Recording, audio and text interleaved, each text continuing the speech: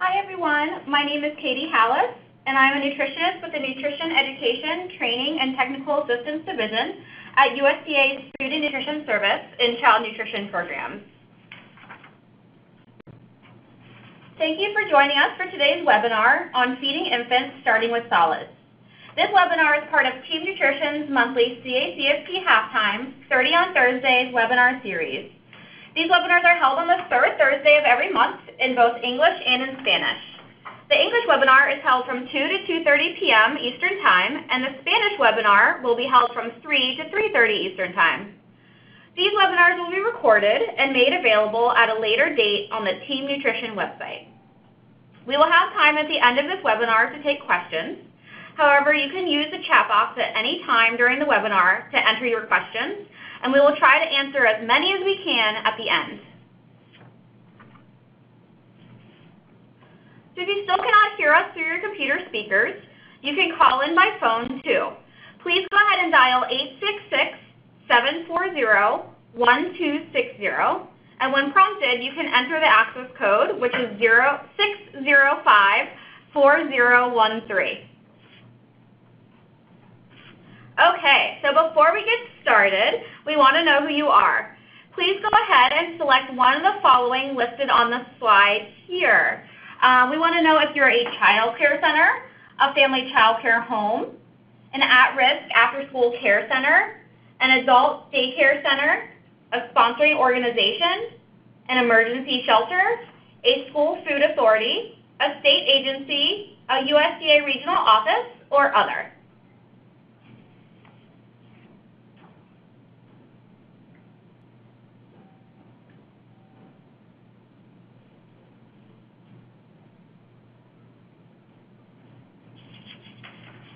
Okay, great. It looks like we have a lot of child care centers with us here today. Thank you so much for joining us. So we are also interested in learning how long you have been working with the CACFP. This includes those of you who are caring for infants and children during the day, those of you who may be responsible for planning menus and preparing meals, as well as those of you who may have administrative functions such as tallying creditable meal counts and submitting claims. So please go ahead and select um, how long you've been working with the CACFP on the screen. Have you been working with CACFP for 0 to 2 years, 2 to 5 years, five to eight years, eight to 10 years, or more than 10 years.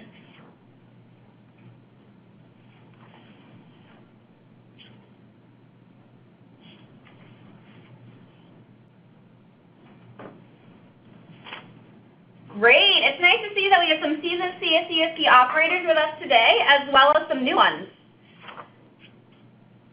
Okay, so let's get started. As babies grow, we know that we will eventually need to start they will eventually need to start eating complementary foods in addition to breast milk and or infant formula. Complementary foods are also called solid foods. And when we say solid foods or complementary foods, we mean that we mean foods that are safe and easy for a baby to eat once he or she is developmentally ready. Developmentally ready means that a baby is showing a set of skills or abilities that mean he or she is ready to try solid foods. This usually happens when the baby is around six months or so. So it could be earlier and it also could be later than six months. A baby is developmentally ready to start solid foods if he or she opens his or her mouth when foods come his or her way or reach for food, sits in a high chair with good head control, and uses his or her tongue to move food from the spoon into his or her mouth. The tongue does not automatically push the food out of his or her mouth. Keep in mind that all babies develop at their own rate. So for example, while one baby might be opening his mouth or reaching for food when he is five months old, another baby may not start doing so until she is six months old. And that's okay. The CACFP infant meal pattern gives you the flexibility to feed each baby based on their developmental readiness, such as how well the baby can control his or her muscles.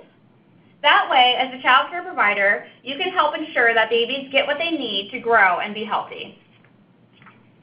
Starting solid foods when a baby is developmentally ready is important because the baby is getting bigger and needs more calories and nutrients that can come from solid foods. And it gives the baby a chance to try different foods so he or she will like them at an early age and hopefully will continue to eat them as he or she gets older.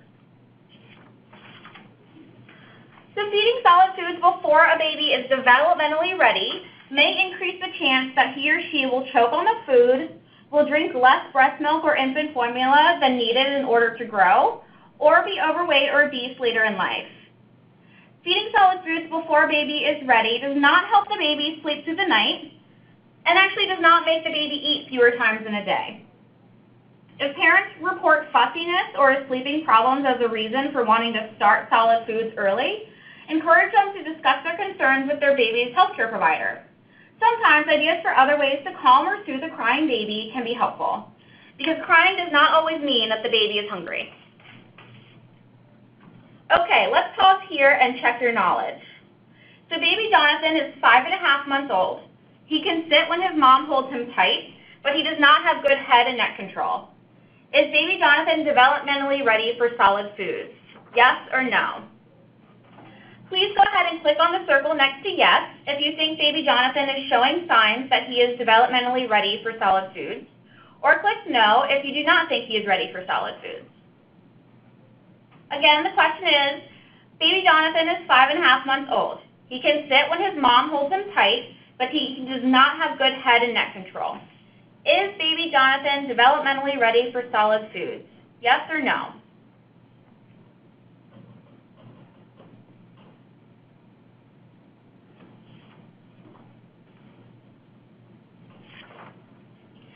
Great job, everyone. The answer is no. Baby Jonathan is not developmentally ready to start solid foods because he's not able to sit up with good head control.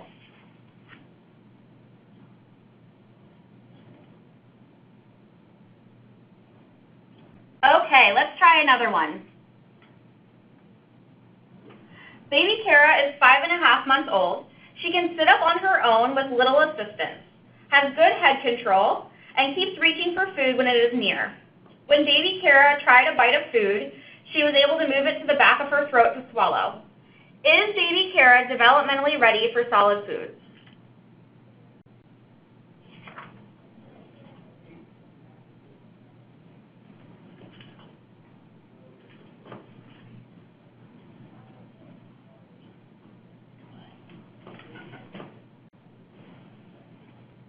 Please go ahead and click on the circle next to yes if you think baby Kara is showing signs that she is developmentally ready for solid foods, or click no if you do not think she is ready for solid foods.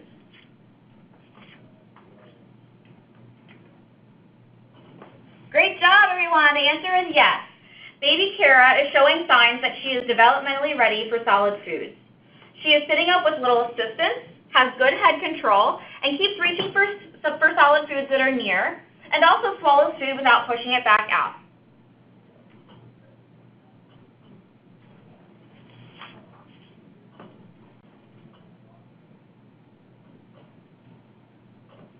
So as I mentioned, the CACFP infant meal pattern allows for solid foods starting around six months of age. The term around is used because as we said, as we just discussed, not all babies are developmentally ready for solid foods at exactly six months of age. Some babies may be ready for solid foods at five months, and others may be ready at six and a half months.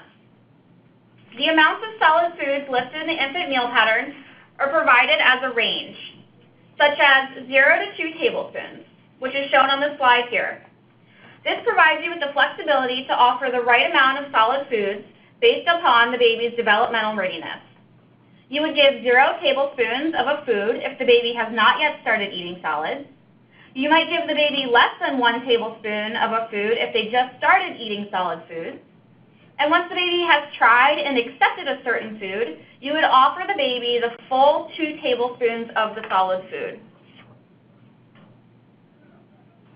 As a child care provider, start offering a baby solid foods after the parents have told you that the child is developmentally ready and is eating solid foods at home. Again, solid foods are foods that are easy and safe for a baby to eat once he or she is developmentally ready, usually around six months of age. Solid foods can be pureed, they can be mashed, ground, or finely chopped to allow a baby to swallow the food without choking. And again, although we are using the term solid foods in this webinar, sometimes you will hear the term complementary foods too. Solid foods can be blended with cooking liquid or water to puree the food so the texture is appropriate for a younger baby. As the baby gets older, you can add less liquid to create a thicker texture. However, remember, if you're cooking for one baby, you can use breast milk or infant formula to change the texture of the food. For packaged foods, like iron-fortified infant cereal, uh, be sure to follow the preparation directions on the package. Pureed foods are foods that are blended to a very smooth texture. And once a baby is used to pureed foods, mashed foods are actually a good texture to try next. Mashed foods are lumpier than pureed foods. At around 8 months of age, the baby may be ready for new textures. You can grind or finely chop soft foods into small pieces, no larger than a half inch or thin slices to avoid choking. Food should be easy for the baby to chew and swallow.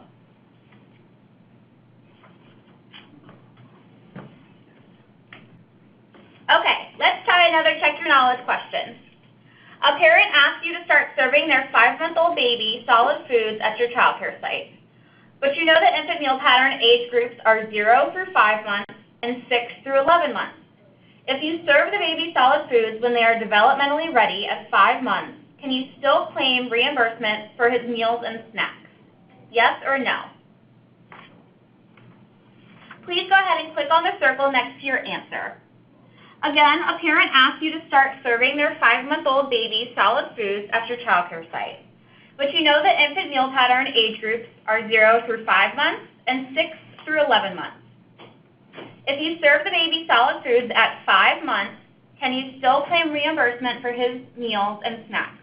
Yes or no?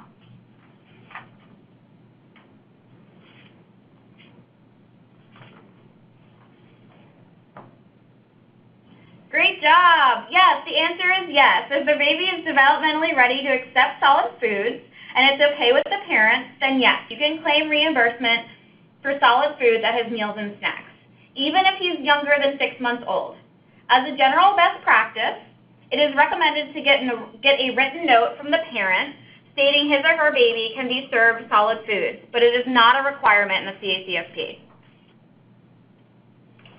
So the CACFP infant meal pattern for babies 6 through 11 months includes solid foods such as iron-fortified dry infant cereals, fish, poultry, meats, whole eggs, including both the egg yolk and egg white, cooked dry beans or peas, cheese and cottage cheese, yogurt, vegetables, fruits, ready-to-eat cereals at snack only, and breads and crackers at snack only.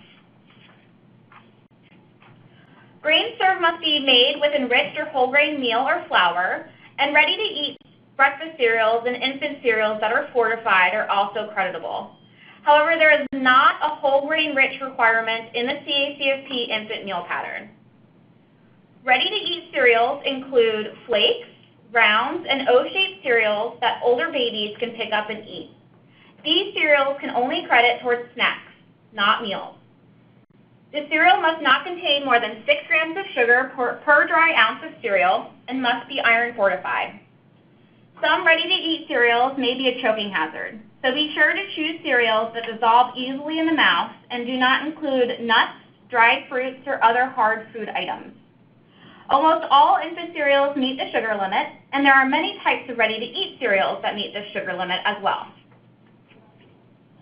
And there are a couple of ways to figure out if a cereal meets the sugar requirement. You can use any cereal that is listed on any state agency's Women, Infants, and Children or WIC approved cereal list found as part of the state's approved food list. You can also use the chart in USDA Team Nutrition's training worksheet titled Choose Breakfast Cereals that are lower in added sugars. We also have a recorded CACFP halftime 30 on Thursdays webinar available on this topic. We will go ahead and broadcast the link to the Team Nutrition worksheet in the chat box now. We'll also include the link in the post-webinar email you will receive with your certificate.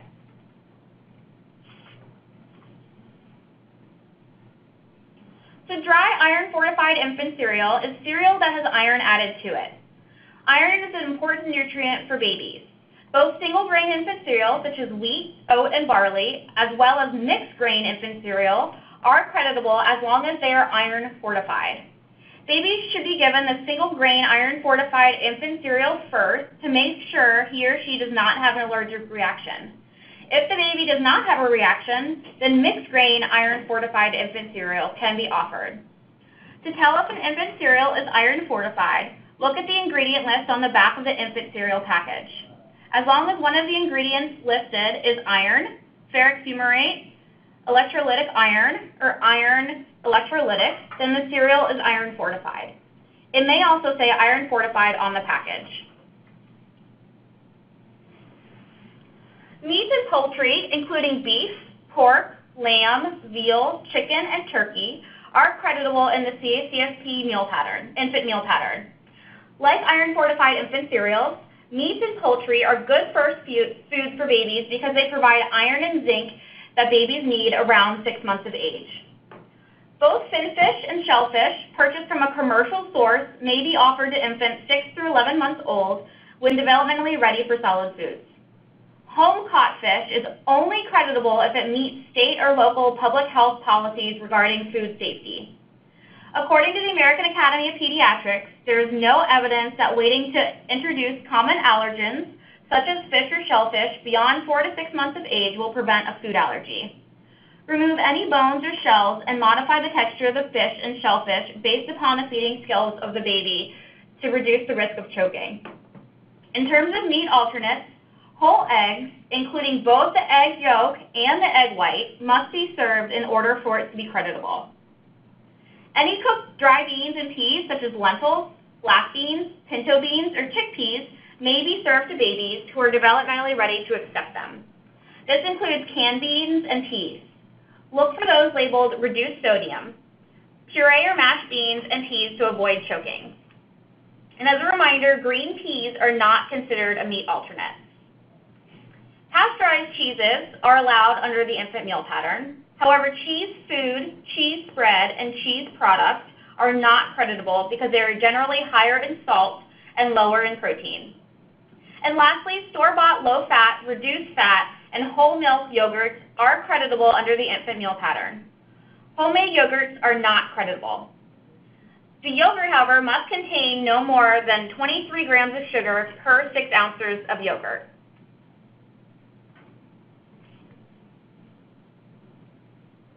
To help you identify yogurts with no more than 23 grams of sugar per 6 ounces, you can use the chart in USDA's Team Nutrition's training worksheet, choose yogurts that are lower in added sugars.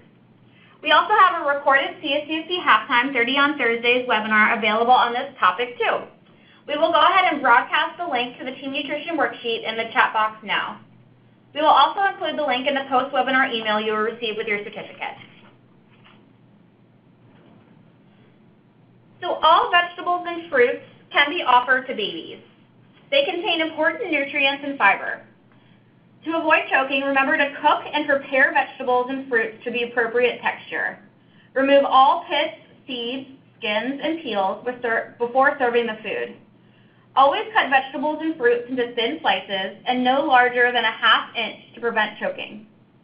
Fruit and vegetable juices, even if it's 100% juice, are not creditable under the infant meal pattern. Okay, so far we've talked about when to feed a baby solid foods and the types of solid foods that can be served to meet the CACFP infant meal pattern. Now let's talk about some of the important tips you need to remember when feeding a baby solid foods. If using baby food from a jar, pouch, or other container, first put the baby food in a bowl or on a plate. Then feed a baby with a spoon from the bowl or plate. If more food is needed from the container, use a clean spoon to remove the food from the container onto the plate or bowl. This helps keep bacteria that can come from baby's saliva out of the food container so that any leftover food can be stored safely. Talk to the baby in a soft and encouraging voice. Keep good eye contact and smile.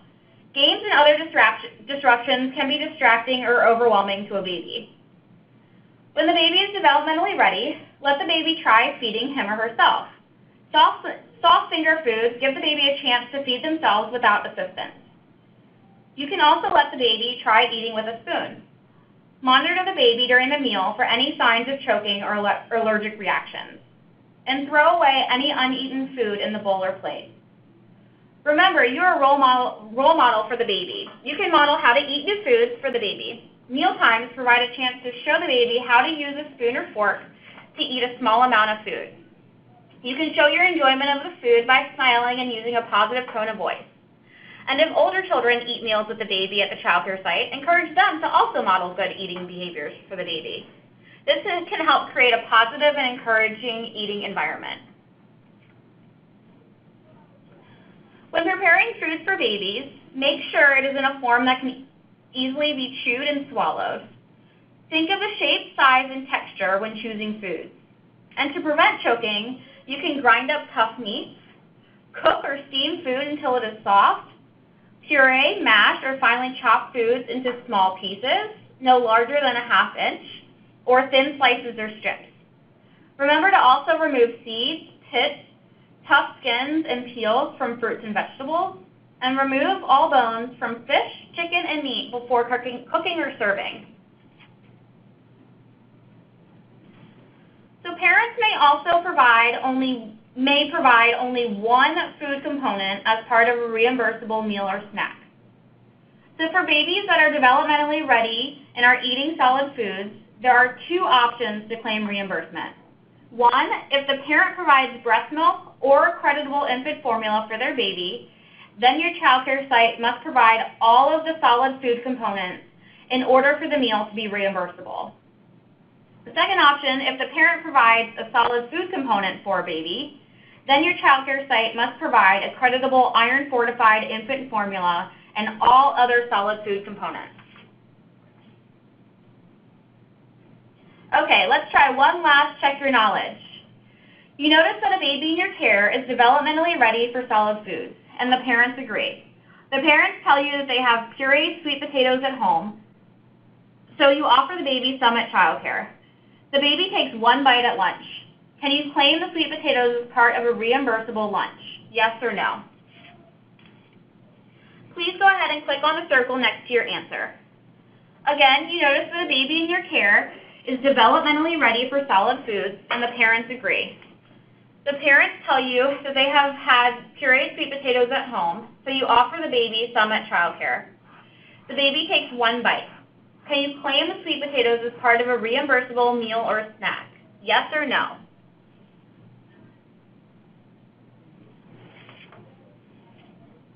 Great job. The answer is yes. You can claim the sweet potatoes as part of a reimbursable lunch, even if the baby only takes a bite. Remember from earlier in this webinar, the amounts of solid foods listed in the infant meal pattern are provided as a range, such as 0 to 2 tablespoons. This provides you with the flexibility to offer the right amount of solid foods based upon the baby's developmental readiness. Since this baby just started eating solid foods and is getting used to it, they were done after one bite, and that is okay. So that concludes the informational portion of our webinar for today. We will take questions in a few minutes, so please go ahead and start typing them now into your chat box on your screen. While you guys are getting your questions entered, I'll go over some post-webinar housekeeping information. So those of you attending the webinar for the entire 30 minutes today will receive a certificate via email by the end of the day on Tuesday, September 25th. Please wait until after September 25th and check your spam or junk mailboxes before inquiring about your certificate. If you are viewing the webinar with multiple people in the room, you can print out a certificate for each person. More practice questions are available at the National CACFP Sponsors Association website at the link at the website www.cacfp.org slash 30 on Thursdays. We will go ahead and broadcast the website link in the chat box now.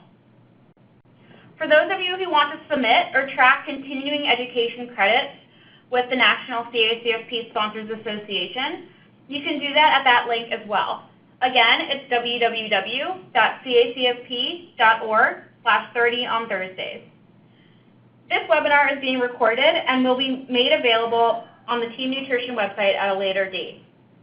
If you're watching this as a recorded webinar um, and want to receive a certificate, you can go to the National CACFP Sponsors Association website at www.cacfp.org slash 30 on Thursdays to complete the post-webinar practice questions and then receive a certificate.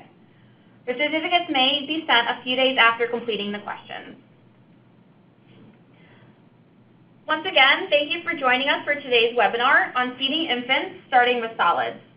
The next webinar will be held on October 18th, where we will discuss identifying whole grain-rich foods for the CACFP using the ingredient list. And then on November 15th, we will discuss grain-based desserts in the CACFP. Finally, please feel free to visit our website, subscribe to our monthly e-newsletter, connect with us via email at teamnutrition at fns.usda.gov, and follow us on Twitter. And now we will take some questions. And in the room with me are Mimi Wu, Xavier Davis, and Rachel Polon, three colleagues here in child nutrition who will be helping me with asking and answering your questions. Okay, Katie, we got a lot of great questions today. So the first question is, so in your examples at the beginning of the presentation, both babies were five and a half months old. How come one was ready to start solid foods and one wasn't? Okay, great question.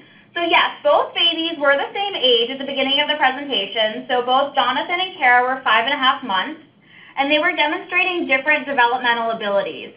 One baby, I think it was baby Kara, could sit up on her own. Um, she also had good head control and kept reaching for food when it was close to her. And these are all signs that a baby is ready to start eating solid food.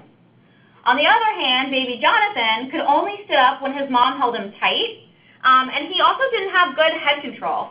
So these signs mean that he is not quite developmentally ready to start eating solid foods. Okay, thank you for that answer. And the next question is, is soy yogurt creditable for babies?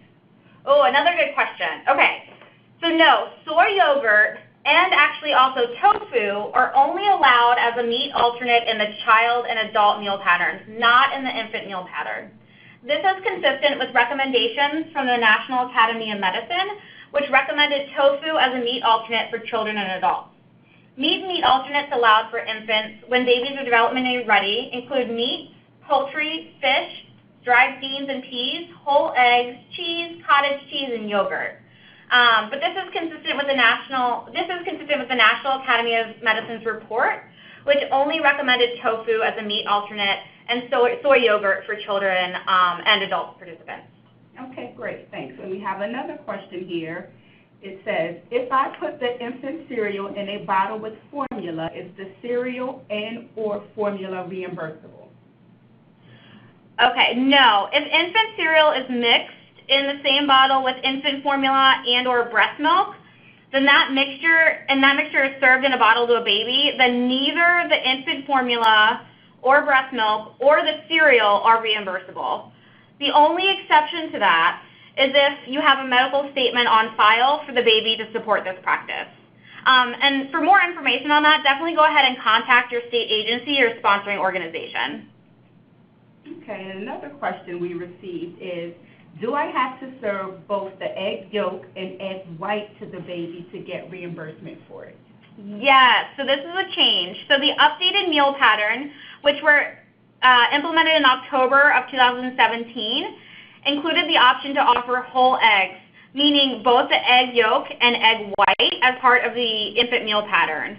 Um, so as some of you may remember, in the old meal pattern, only egg yolks were creditable in the infant meal pattern um, because there were concerns with developing food allergies when babies are exposed to the protein in the egg white.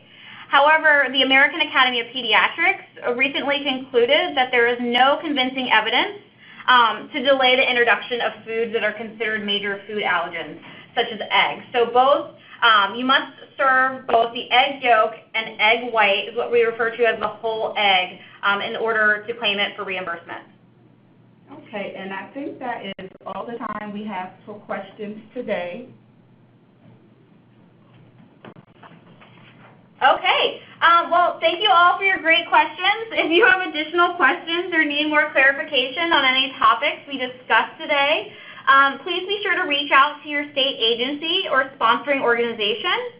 And that is all we have time for today, but please know that we do read all of your chat box questions and comments, as well as comments in the post-webinar survey, um, in order to continually improve these webinars and hopefully meet your needs. Thanks again, and we look forward to seeing you all on our next webinar on October 18th.